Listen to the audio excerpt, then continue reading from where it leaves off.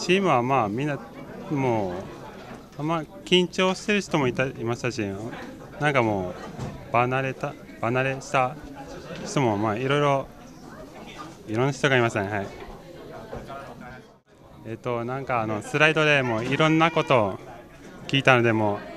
頭がパンパンなんですけどまあなんかいまあいろいろと